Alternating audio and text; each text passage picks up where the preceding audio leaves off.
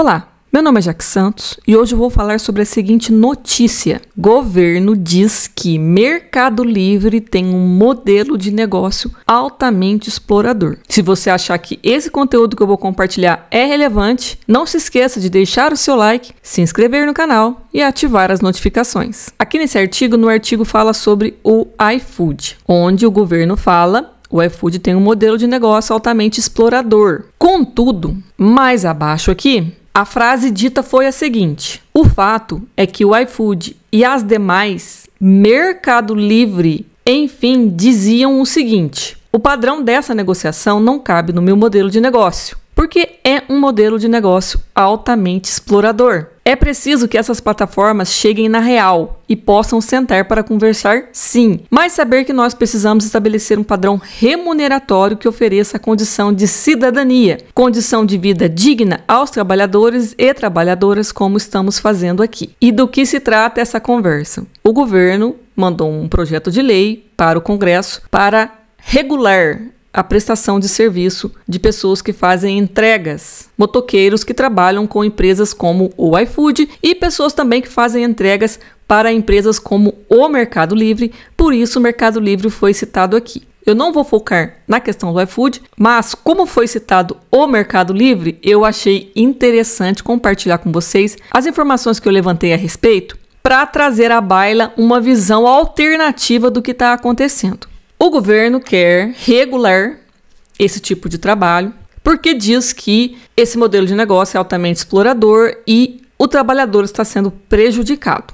O meu intuito nesse vídeo não é debater se o governo está certo ou se está errado. O que eu quero trazer aqui é uma reflexão sobre por que o governo estaria mirando essas empresas especificamente, nas quais pessoas podem optar por trabalhar de maneira autônomo, sem ter que pagar impostos, sem ter que pagar previdência. E por que o Mercado Livre especificamente seria um alvo interessante? Para você acompanhar o meu raciocínio, parta do princípio que o governo é proprietário dos Correios e esse governo é protetor dos Correios. Tendo isso em mente, siga esse raciocínio. Alguns anos atrás, esse artigo aqui, por exemplo, é de 4 anos e meio. Você via frequentemente notícias como essa aqui. Correios entram em greve e afetam parte das entregas do Mercado Livre e Amazon. Os vendedores mais antigos, como eu, sabem que antigamente era um inferno toda vez que os funcionários dos Correios entravam em greve. Praticamente entraram quase todos os anos. Acho que só não teve greve em um intervalo de um a dois anos num período de 15 anos. Então, praticamente entraram de greve direto.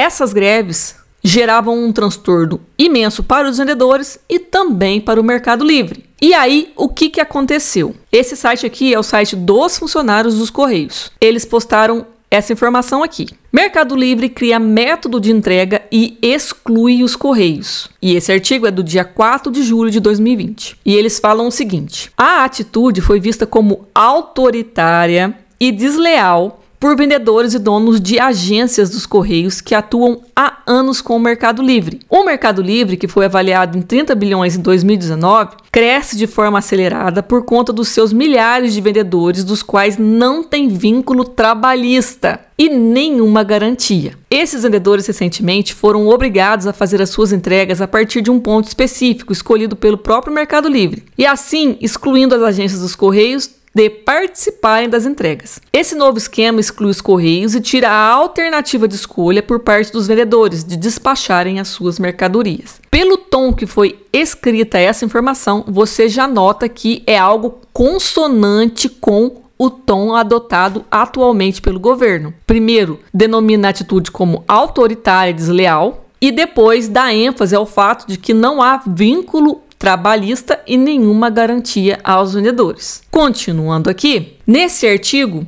lá em 2020, é falado que o Mercado Livre estava interessado em comprar os Correios na privatização, quando o governo anterior cogitava privatizar os Correios. Com certeza, os sindicatos e funcionários dos Correios não gostaram desse interesse. Mas, em seguida, o Mercado Livre soltou essa nota no dia 11 de agosto de 2021, falando que tinha ampliado a sua malha logística e que não tinha mais interesse em comprar os Correios. Ao invés de comprar a empresa, eles decidiram investir 10 bilhões em 2021 na parte da área logística. E o que, que aconteceu depois dessa decisão? O Mercado Livre reina absoluto no Brasil, é o maior marketplace não só no Brasil, mas em toda a América Latina. Tem uma logística invejável, organizada, planejada. Você pode reclamar várias coisas sobre o Mercado Livre, mas a logística deles é atualmente a melhor disponível. Claro,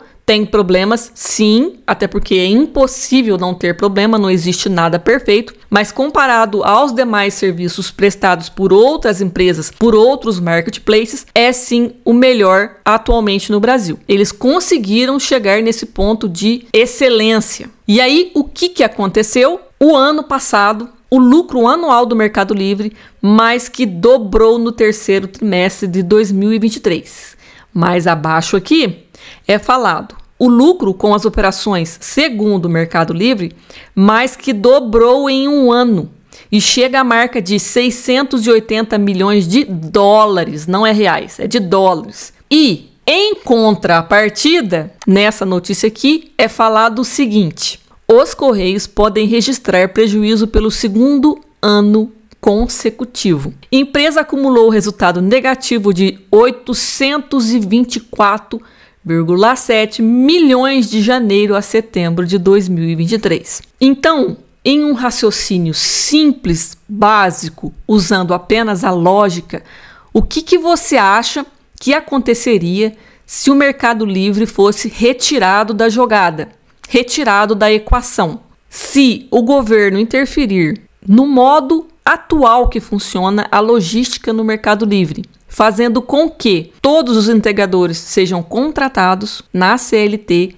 pagando todos os impostos como qualquer outro funcionário, retirando todos os funcionários que trabalham de forma autônoma, pode ser que eles já não tenham essa vantagem operacional que eles têm atualmente e já não consigam ter um preço tão mais baixo do que seria se eles continuassem com a parceria com os Correios. Então, nesse cenário ou em um cenário semelhante, que de qualquer maneira chegasse a esse ponto onde os encargos fizessem a logística do Mercado Livre não puder continuar sendo autossuficiente, os Correios entrariam na jogada novamente e reduziriam ou eliminariam prejuízos como esse aqui, teoricamente. Outro ponto interessante que algumas pessoas podem não saber é que foi cogitado, inclusive, que os Correios lançariam o seu próprio marketplace. Essa informação é de 2022, criou expectativa em alguns vereadores, mas depois disso não foi falado mais nada sobre isso. Inclusive, um vereador perguntou recentemente para mim o que, que eu sabia sobre o andamento desse lançamento e eu falei que, ao que tudo indicava,